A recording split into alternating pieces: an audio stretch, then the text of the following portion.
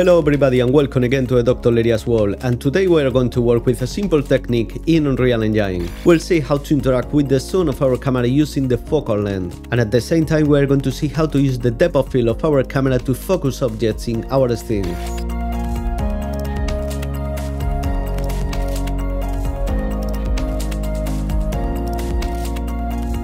Thank a community user this tutorial, Jorge Barcellona. I leave you here in the description his YouTube channel where you are going to see the amazing quality of his work.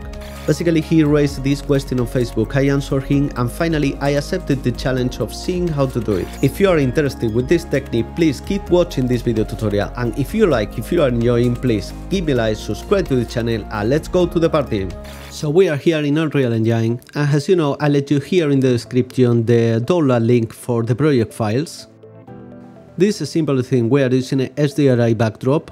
Also we are using a plane, this is the navigation plane for our third person character. And you need to have your collision activated in this plane.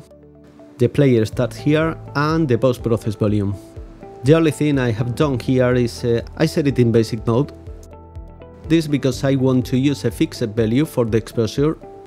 And now to start this video tutorial, the first thing we want to do is add a feature or content pack. Okay, and we use here a first person, this content pack, we add to the project. Let's go to world settings and we set uh, this one, this uh, first person game mode. We play here, um, now it's working well. Well, as you know at this moment we need to look for the blueprint, here we are using for our first person character. Now we go here to this window and now we want to hide these actors and we are going to do it really easy. Just uncheck visible and check hidden in game. Now we compile and save, we play the game, and this is the mode we want to work. Okay. Well, the main idea of this video tutorial is to work with the main parameters of this camera. Like that, we are going to use our right mouse button to zoom in and zoom out using our focal length. And also we are going to use the depth of field of our camera to focus the objects in our scene. And now let me add here some simple objects for example this sphere we place it here uh, this cube okay and also this cylinder okay we got it here. And now we go back again to our first person character blueprint and what we want to do here in the graph event look at this. These are all the functions and all the variables we are using uh, these are pre-made functions. We don't care about it because we are going to create uh, new ones. So let's go here, for example, and we start creating a right mouse button, okay, this action. And this is our first function. Well, like that, as I told you, we zoom in and zoom out in our viewport. Okay, let me look here, we have our components, and here in my character we have the third person camera. We drop it here and we get third person camera. Now create a timeline and we name it like a zoom timeline. This will be the animation for our right mouse button click event. And now we make a connection here preset with play and the released output with the reverse input in the zoom timeline. Now we need to find here in our third person camera set field of view. Here it is. And now we need to connect that data output to this one set field of view input. And we do a double click here in the timeline that we have created. We add a new float. We name it for example like a zoom value. We add a new keyframe here. We set the time for 0 and the value, this is gonna be the first value for our field of view and we use for example 90, okay? We set the duration to 0.5. We add another keyframe here at the end. In time we use 0.5 and the value we will use is 45 for example. Let's select all, we do a click with the right mouse button here and we select auto to smooth this animation. And let's go back again to our graph event and here you have uh, the zoom value. What we need to do is really simple, Let's connect it to our field of view. Now compile and save again. And this is the beginning, this is the most easiest part of this tutorial. But look at this in play mode, now everything is working well. We press the right mouse button and we are zooming. And we are using the focal length of our camera to do this zooming action. And the next step I want to teach you is how to use the depth of field of our camera to focus objects and also we are going to use a simple technique to focus the objects that are places in the center of our viewport. I like that we are going to use the depth of field to create a high quality focus setting in our camera. And as you have seen this uh, easiest part, but don't worry because I try to explain everything I do in the clearest I can well here in the graph event again we press C in our keyboard and we comment this area to have it more organized. An event in this case has zoom events. And now the next step we have to do is where we are looking and what objects we are pointing. For that we need to work again with the third person camera, we get it here and we find get world location. This will be the position of our third person character in the world. Now we need to know where we are looking. Well, for that we find for the function get forward vector. Okay, we got it here. And now in this return value we add the vector float multiplier, this one. And here in this field we need to set a higher value for the multiplier. For example, we use 100,000. Assigning this value so high, what we are doing is saying that this vector is projected like uh, to the infinity. And now we use here the return value for the get world location, and we find for vector plus vector. Now look at this, we need to connect the other value. And the next step we need to do is find for the line trace we are doing here in the position of our third person character and using a forward vector multiplying with a higher value and also adding these values we get the final distance. For that click here and find for line trace by channel. And now look at this, the start point of this function is our first person character position. And the endpoint will be this operation that we get the final distance. Now we want to debug how are working these lines and here in draw debug type use duration. Now we need to execute this function that we are creating and for this we are going to create a custom event, this one. We name it for example like um, DOF update and we connect to the line trace by channel input. This will be a custom event but right now we are not calling it from anywhere in this blueprint. We do it really easy, we use a begin play event. This is the first event when our blueprint is loaded.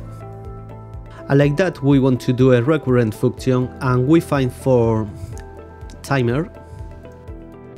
You have here this event set timer by function name. And we use this timer with this custom event we have set it here, DOF update. We write the name here, DOF update. This will be the function that it will execute in the timer. Also check looping, and here you need to set the value for your time, for example 0.2. So every 0.2 seconds this event will be executed once the blueprint is started. Now let me show you how these lines appear from our character and collide with the objects in our scene. Mainly this line will tell us which are these objects on the scene in which we want to zoom and focus.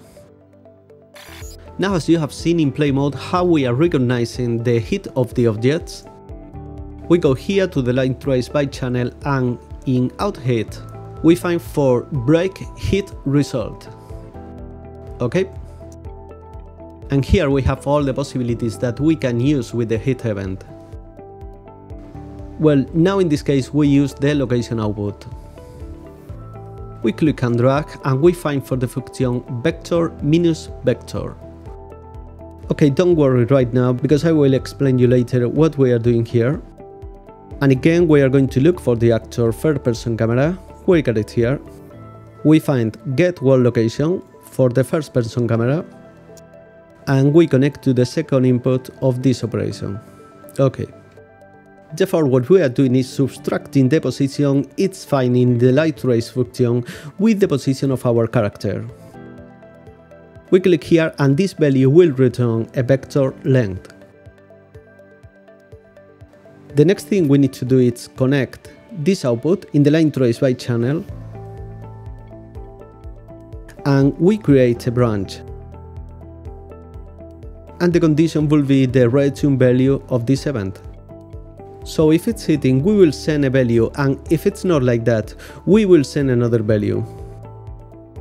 And now look at this here again, in the vector length, we have this return value, we click with the right mouse button and we promote to a variable.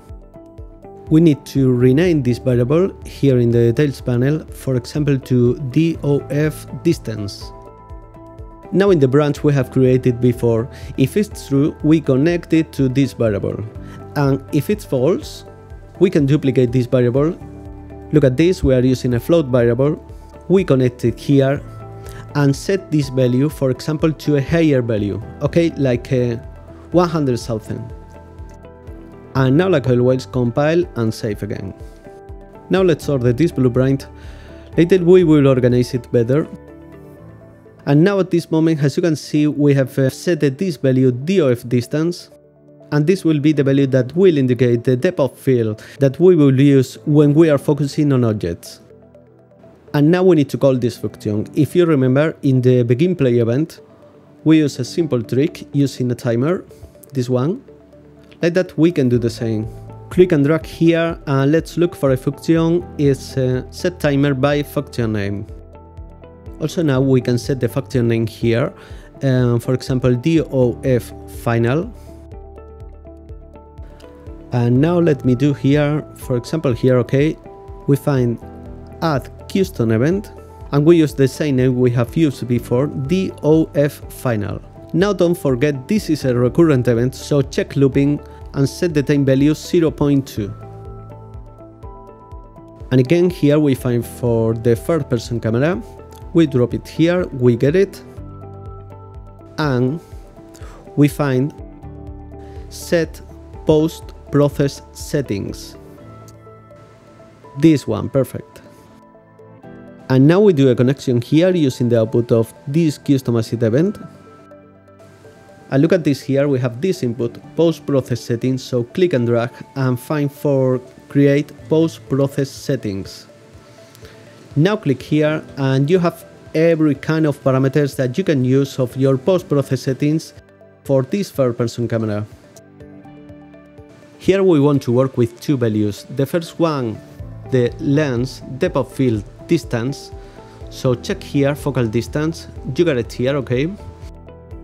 And the other one will be the aperture. Let me check. Okay, check it here and you get it. Now look at this here, we are using a higher value for the aperture, so if you want to see really the depth of field in your camera, you need to set a value like 1, okay? Now, what we need to do is get this variable DOF distance and connect to the focal distance.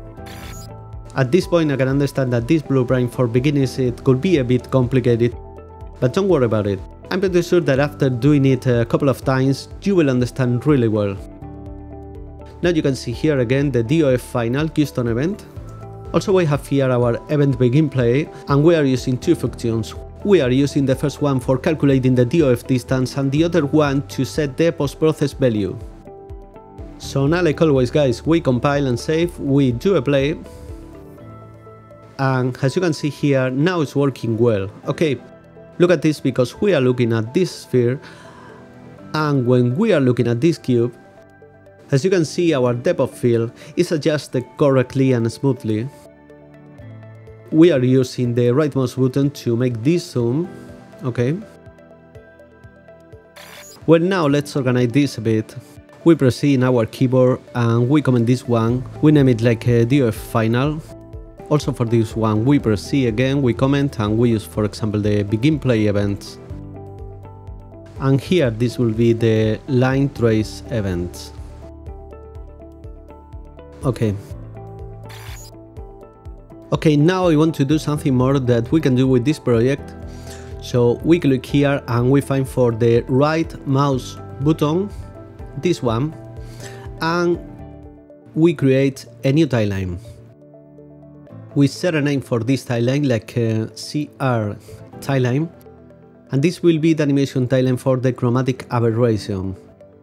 So let's do the same connections here, the preset and release, double click here, we open, add a new float, we name it like a CR value, we add a new keyframe here, we set here 0 for time and also 0 for the value. We set the duration 0.5 and here at the end we add another keyframe, we set uh, time and 0.5 and the value to 3. And like always we select all, we press with the right mouse button, we select auto to make this timeline smoother. Like that we will use a higher value for the chromatic aberration. And now again here in the graph event we create a new variable. We name it as CR value. Look at the green color of this variable this means that it's a float variable. You are not seeing that, but you need to be sure that you are setting a float variable. You can do it in the details panel. And now we do the update connection and also the value.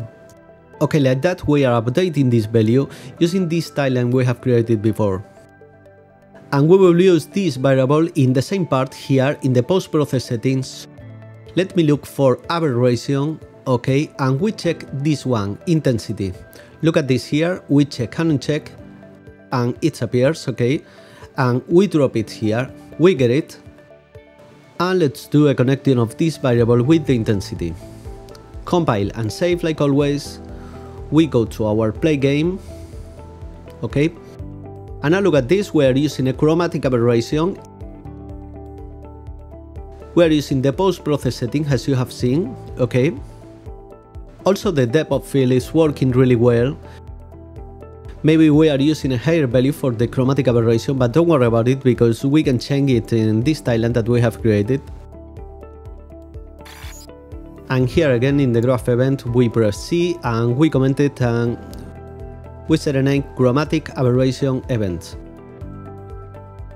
And now that everything is working well, we go here again to the line trace by channel and look at this in the draw debug type here in the checkbox, we select nothing because now we know that everything is working and we want to hide these debug lines. We try again here. But let me do something because I want to change this value for the chromatic aberration. Let's double click in our timeline. We select the last value and we set it for example to 1.5. This is looking better, we are not using a higher value for the chromatic aberration, just a little bit and everything is working really well. Look at the focus and also look how the depth of field with this zoom action is working really nice.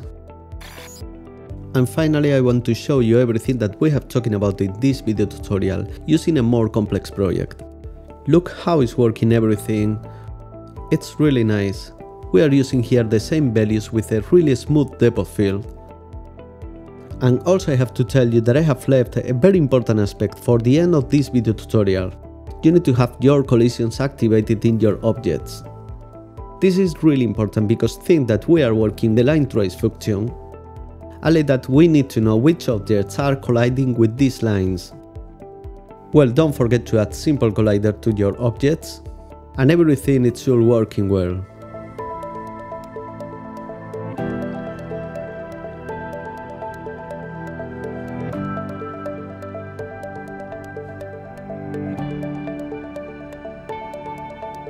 Well Jorge, thank you very much again for motivating me to do this video tutorial and to you like always, if you like, if you are enjoying please give me a like, subscribe to the channel and I hope to see you in the next video tutorial. Bye bye!